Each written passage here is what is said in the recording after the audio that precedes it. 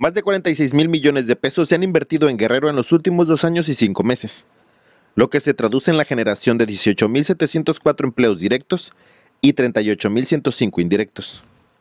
El director de la promotora turística de Guerrero, Manlio Fabio Pano Mendoza, explicó que en 2016 fueron invertidos 27 mil millones en 13 proyectos, en 2017 18 mil millones en 8 proyectos y en el año en curso suman 1.500 millones. Tenemos eh, próximamente, vamos a anunciar otros nuevos desarrollos, uno que estará en la zona Diamante, que se vaya, a denominar eh, Del Sol, es un proyecto inmobiliario muy interesante, donde antiguamente estaba la casa de Luis Miguel, después estará anunciando Palmarena y posteriormente también un desarrollo muy importante que estará aquí en el área de Tres Vidas. Ahí la llevamos, creo que vamos bien y estamos generando confianza y ese es justamente por Tour, siga la política, lo que ha instruido el señor gobernador del estado, de generar confianza en la inversión y darle todas las facilidades al inversionista para que siga viniendo aquí. Destacó que en lo que va de la actual administración estatal, ningún proyecto de inversión se ha detenido por temas de inseguridad.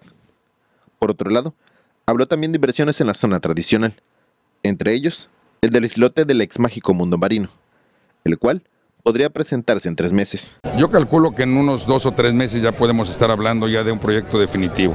¿no? Ya estamos platicando con los desarrolladores, nos han hecho ya una propuesta y se están haciendo desde luego las gestiones necesarias ante la Semarnat también.